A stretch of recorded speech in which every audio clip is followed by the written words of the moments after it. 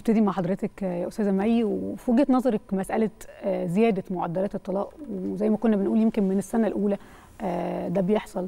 ف إيه اللي بيحصل؟ وليه الموضوع ده في جيلنا بقى أكتر من الأجيال اللي قبل كده؟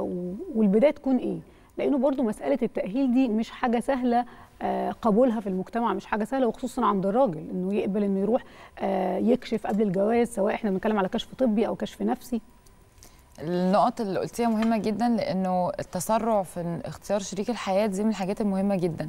أنا بحس إنها قصة حب وخلاص مفيش حاجات معينة بنتكلم فيها ولا بنتناقش فيها قبل ما نتجوز. وبعد ما بنتجوز بنكتشف إن إحنا مختلفين تماما. نبتدي نتعرف على مشكلة.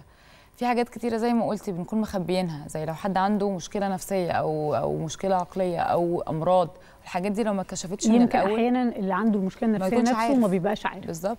ف... وعلى فكرة هو مش عيب كلنا عندنا مشاكل بس لو أنا عرفت ده وصالحت نفسي وابتديت أشتغل عليه وشريك حياتي ابتدى يتعامل معايا على أساس ده ويساعدني ويأهلني مش هيحصل ده أصلا.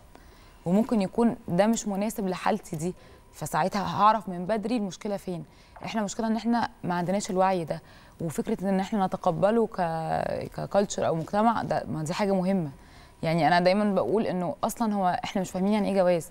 يعني الناس كلها بتتخيل إنها قصة حب. لا هو الجواز أكبر من كده بكتير لأنه هي مسؤولية كبيرة. ما لو أنا دلوقتي وعندي مشكلة مع شريك حياتي المسؤوليات والضغوطات اللي بتحصل دي هتؤدي لمشاكل كبيرة جدا وهتطلع فيها حاجات ممكن ما كانتش باينة في الأول.